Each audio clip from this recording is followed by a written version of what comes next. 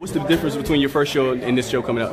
Well, I think the first show was more of, of, of jumping and what to, you know, not knowing what to expect. This one right here, you know, you learn more about, you know, the medical eye exams, you know, what individuals need in order to put on the fight. So I think I think it also allows me the chance to build a relationship, you know, with the manager and the fighters the matchmakers and stuff like that. And, and you're making more uh, boxing connections as far as the business side? Yes, yes, absolutely, absolutely. Which which is great, which is Yeah. great.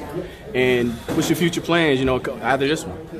We're gonna keep going. We're gonna go. We were thinking about October 14th, but we're actually gonna go December 6th uh, back here, and then we're also gonna look at two states in 2020, uh, West Virginia and Utah.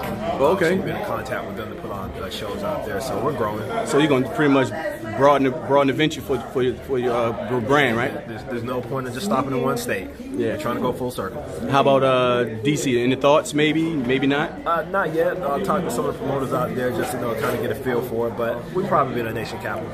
So what, o- what other promoters you've been uh, working with and talking to? Uh, Greg Cohen worked with them uh, our last show. I think he has a fighter um, on this show. Um, outside of that, Shabazz, he definitely gives me advice. Uh, you know, anytime I call Big Brother up, he's going to give me advice. He's going to set me straight. Yeah. So means what's what's your goal as far as promoter? Uh, build build the fighters. And I feel like all the fighters who are trying to get to know your top rank or golden boy, they got to start somewhere. So you might as well start with us.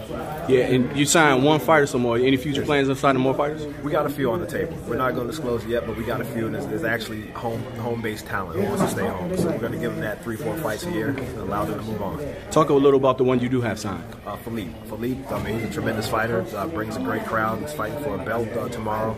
Uh, great fan base, uh, great management, great team. I mean, overall professional team to work with. And how did that come about anyway? You get you signing him?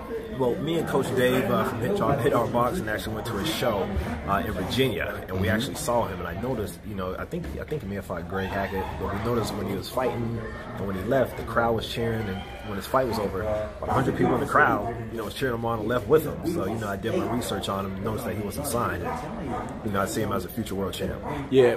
And what you think about the, that one loss that he took early in, on, on in his career? Well, I, I mean, to be to be quite honest with you, I mean, it was a learning experience for him. I mean, I think he said it himself. He, he was fighting a different style, southpaw. Um, but you know, he got his confidence back up. His last fight knocked the guy out. I think second, third round, do what he had to do. And then tomorrow, he's going to do what he has to do and win this belt. So how are you going to push him as, as your fighter coming up throughout you know through the ranks? I mean, we're gonna we're gonna push him slowly. I mean, we're not just gonna throw him there with anybody, but he has to be tested. You know, we don't want a situation where he's never tested and get him with a tested opponent and something happens. But I'm 100% confident in Philippe. You, you probably talked about this a little earlier with someone else, but how many bouts tomorrow? I think we're at nine. Okay. Off the top of my head. So it's, it's going to be a good show. We're going to get these doors open and we're going to go, especially with Tori's final fight. All right. How's how's it uh, hosting that? You know, that's a big thing, hosting that fight. Yeah, no, it's, it's, it's, it's definitely, you know, a lot of people uh, talk about, you know, what Tori brings to the community, what Tori brings, uh, you know, in women's boxing as well. You know, she, Tori only has two losses, two, two uh, multiple world champions. The Yeah. first she showed, and I think the hammer, that's it. You know, Tori's a world champion, she's very professional, she should have put on the show.